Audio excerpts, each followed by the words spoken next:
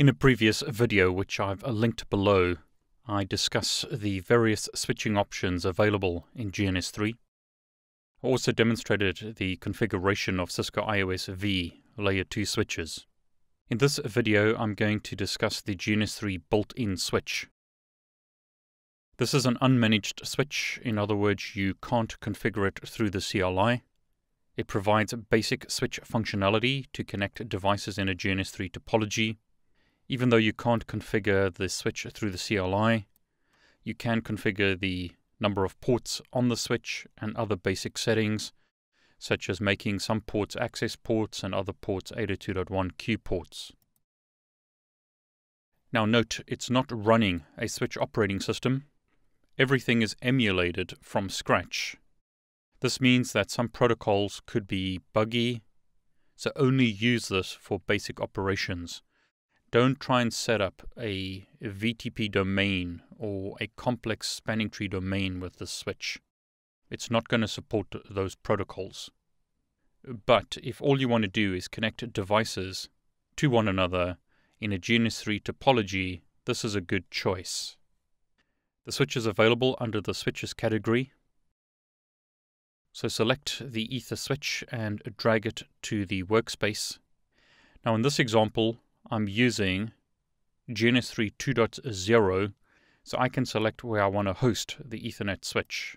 I'm going to specify the GNS3 VM and click OK. So once again, in this example, I'm using GNS3 2.0.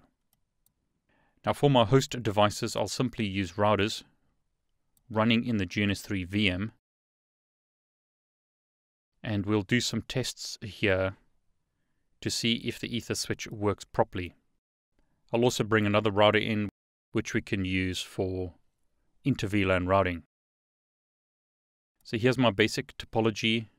The first thing I'll do before I connect the devices is configure the switch.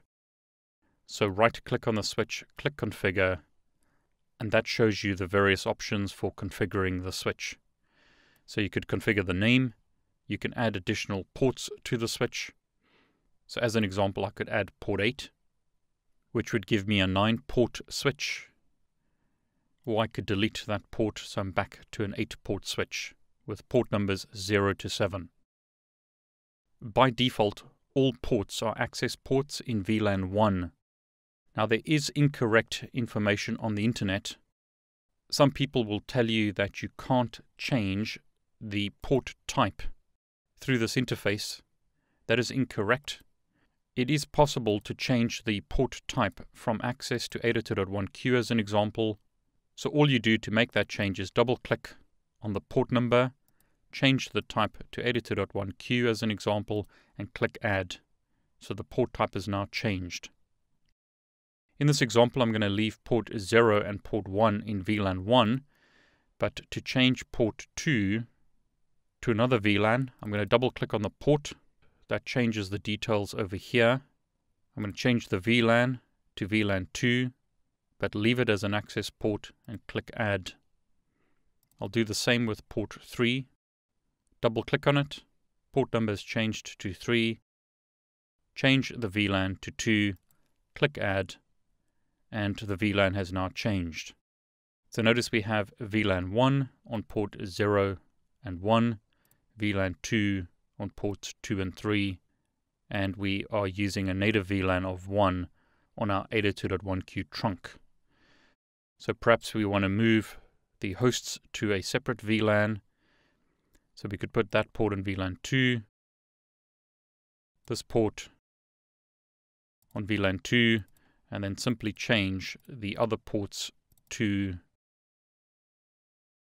another VLAN as desired. Click Apply to apply your configuration changes and click OK. Now when you hover your mouse over the switch, you'll see the ports that are configured. At the moment, the ports are empty, but we could now start connecting devices to the switch. And I'll put router 1 and router 2 on ports 0 and 1, and router 3 and 4 on ports Ethernet 2 and Ethernet 3. Just remember that the port numbers start at 0 on the switch. So I have Ethernet 0, Ethernet 1, Ethernet 2, Ethernet 3, and in this example I've got Ethernet 7 connected to router 5, which we could use for inter-VLAN routing. When I hover my mouse over any connection, I can see how it's connected. And hovering over the switch once again, we can see how devices are connected. But I could once again right click on the switch, click configure, and I'll be able to see the configuration of the switch. So you can make your topology look pretty. I'm not going to worry about doing that here. What I'll do now is start up the devices. The ether switch is by default on, so just to show you that again, if I power down the routers, they're all powered down, and we can see that in the topology summary, but the switch is powered on. It's not a managed device, so you can't power it on and power it off like you would with a normal device. Notice there's no power options here, but on this device we do have a power option. There's also no console available on the switch, whereas we do have consoles available on the Cisco routers. I'll open up a console to all the routers. So as an example, we can see that router 1 has booted, so has router 2, and so have the other routers. Now, one of the reasons I wanted to use Cisco routers rather than a device like VPCS is I want to show you what happens when a broadcast is sent. So on the first router, we can configure an IP address and then no shut to the interface. The interface has now come up, so the router, as an example, will be able to ping itself. On router 2, I'll also configure an IP address on the fast Ethernet interface. And I'll no shut the interface. And hopefully router 2 will be able to ping router 1. So there you go. So if you remember, router 1 and router 2 are in the same VLAN. They're both in VLAN 2 if you have a problem where your devices can't ping each other, other people would tell you that you have to reboot the entire topology. Now, that may be required in some cases, but otherwise, just delete the connection and then reconnect the connection. It's become a lot easier to do those kind of things in GNS3 version 2. So, by simply doing that now, notice router 2 can ping router 1, but if I deleted that cable, router 2 would no longer be able to ping router 1. So I'll connect the router back again. And router 2 can ping router 1. We could do a debug IP ICMP to prove that. And notice now we see the debugs for the ping. Now what I'm going to do here is do something you shouldn't typically do. I'm going to put router 3 and router 4 in the same subnet as router 2 and router 1 and send a broadcast so that we can prove that the layer 2 switch is working and also see where traffic actually goes when a broadcast is sent. So router 3 has got an IP address of 10.113 router 4, IP address 10114. Router 4 should be able to ping router 3. And there we go. So now let's do a test of a broadcast. These four routers are in the same subnet, but we've configured the switch with the first two ports in VLAN 2 and the second two ports in VLAN 3. So router 4, when it sends a broadcast, should only get a reply back from router 3. But let's test that. So ping 10.1.255. Notice we're getting a reply back from 10.113. We are not getting a reply back from router 1 or router 2. If we do the same test on router 1, ping 10.1.255 255, we get a reply back from router 2. Because I'm running a debug, we see additional information. I'll turn off debugging and notice now we simply get a reply from router 2.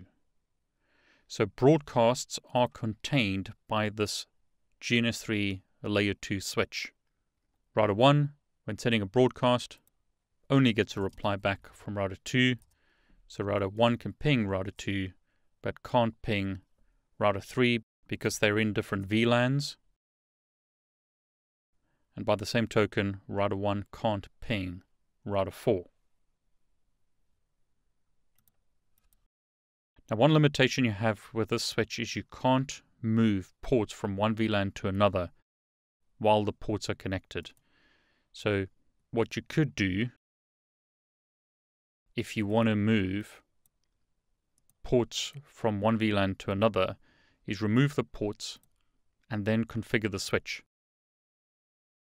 So as an example, if I want to move port 2 to VLAN 2, I can double click on the port, change the VLAN number, click add, click apply, and click OK, and now I can recable the switch.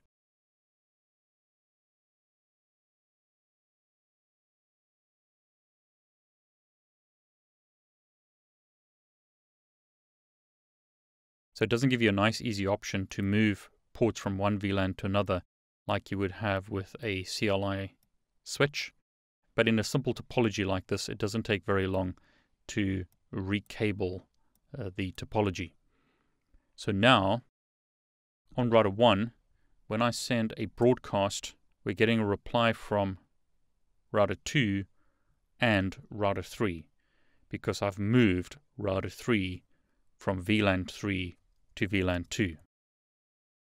So router 1 can ping router 3, and notice previously router 4 was getting a reply from router 3 when a broadcast was sent, and it was able to ping router 3 directly, but now we're not getting any replies to broadcast traffic, and router 4 is not able to ping router 3, and again, it's because we've moved router 3 to VLAN 2. So that's a simple example of how to configure a layer 2 switch.